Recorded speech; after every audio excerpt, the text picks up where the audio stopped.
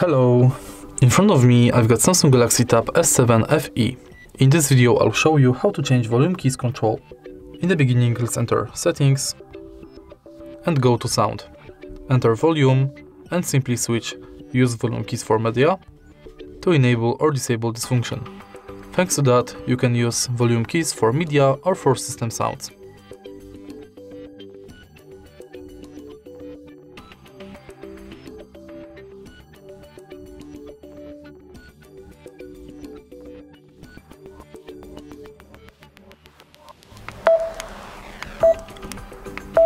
If you find this video helpful, please leave like, comment and subscribe.